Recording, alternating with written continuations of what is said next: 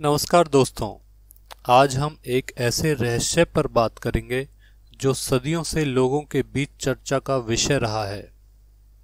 यह है मगरमच्छ के आँसू।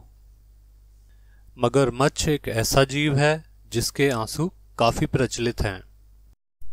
मगरमच्छ के आँसू एक मुहावरा भी है, जिसका अर्थ होता है दुखी होने का दिखावा करना या फिर दिखावटी सहानुभूति प्रकट करना या आप कह सकते हैं कि दुख का पाखंडपूर्ण प्रदर्शन करना।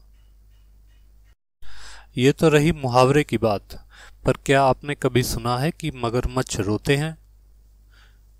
अगर रोते हैं तो क्या उनके आँसू होते हैं? और ये आँसू क्या असली होते हैं? या फिर ये सभी बातें एक मिथक है? आइए इसके पीछे का सच जानते हैं।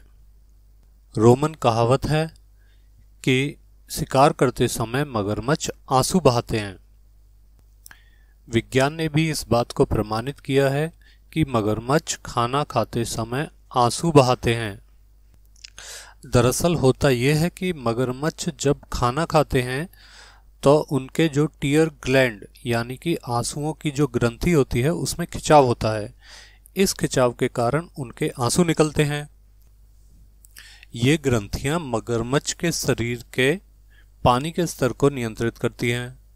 भोजन खाते समय उनके जबड़े की मूवमेंट होती है, जिससे इन ग्रंथियों पर दबाव पड़ता है और उनके आँसू निकल पड़ते हैं। ये आँसू किसी दुख की भावना की वजह से नहीं निकलते, इसलिए इन आंसुओं को नकली और दिखावे के आँसू कहा गया है। अगली बार आप जब भी सुने मगरमच्छ के आँसू तो समझ जाइएगा कि यह एक शारीरिक क्रिया है, यह भावनाओं का प्रदर्शन नहीं है। वीडियो अगर आपको पसंद आया है तो इसे शेयर करें और सब्सक्राइब करें। धन्यवाद।